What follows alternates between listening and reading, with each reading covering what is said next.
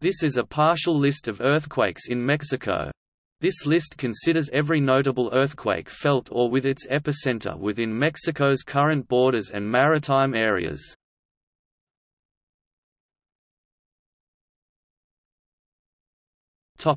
Geology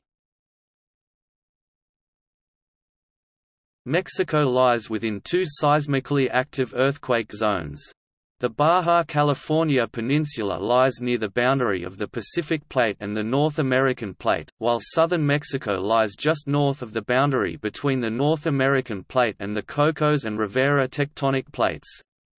The Cocos Plate is subducting under the North American Plate at a rate of 67 mm (0.220 feet) per year, while the Pacific and Rivera Plates are moving northwest relative to the North American Plate.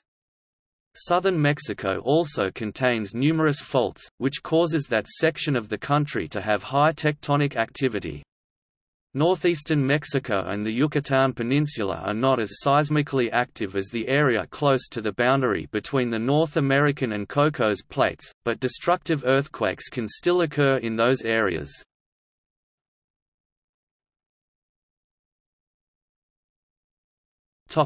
Earthquakes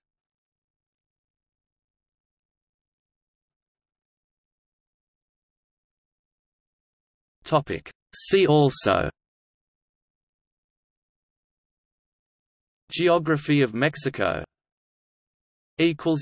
Notes